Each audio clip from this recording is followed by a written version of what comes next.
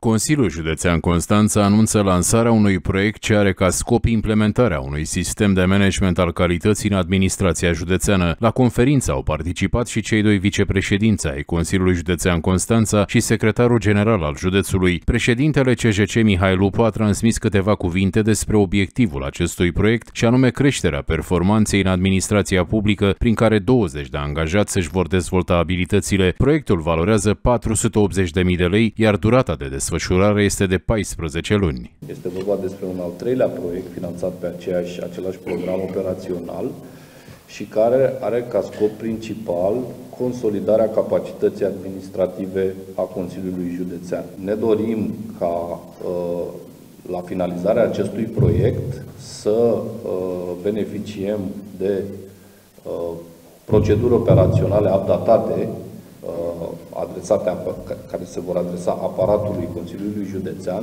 Pentru noi este o activitate cu totul nouă, care ne va permite să ne autoevaluăm intern și să aflăm uh, unde trebuie să ne îmbunătățim activitatea uh, profesională pentru a putea desfășura uh, și avea niște servicii către uh, cetățeni uh, de cea mai bună calitate. Este un proiect care are o valoare de aproximativ 480.000 de lei.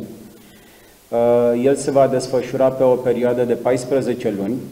Semnarea acestui contract a fost realizată în mai 2022, iar ca și finalitate am avea uh, trimestrul 3 uh, al anului 2023.